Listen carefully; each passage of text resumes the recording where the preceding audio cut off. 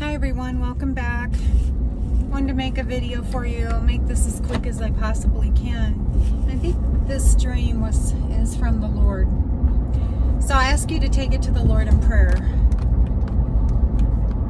So here's the dream I had. I had a dream I was somewhere in America. It was not shown to me where I was in America. Anywhere, America. And um, what I saw in the dream was Americans. Just Americans. And what concerned me most in this dream was they were walking everywhere. Masses of them. They were just walking, walking, walking. They weren't running, they were walking. I also saw in this dream that there were no cars. People weren't driving cars. People weren't driving buses. People were not driving trucks. People were walking everywhere. I'm talking everybody was walking everywhere. Now, I didn't get to see this dream very long. I don't know how many, but the impression I got, it was a good part of Americans was walking all over the place. And I heard the word migration.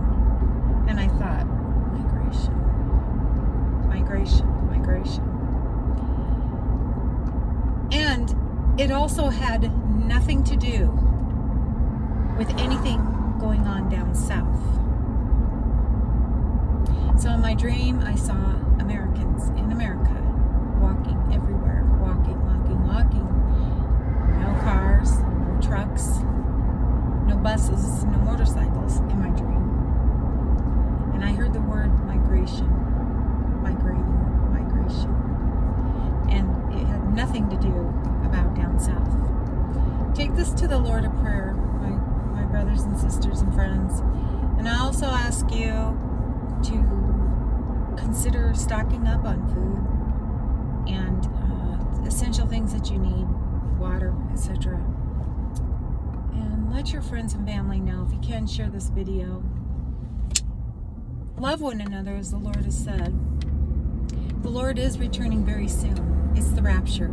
Yes, I know the word rapture is not in the Bible. It doesn't matter because it is about when the Lord comes for his church, and he will.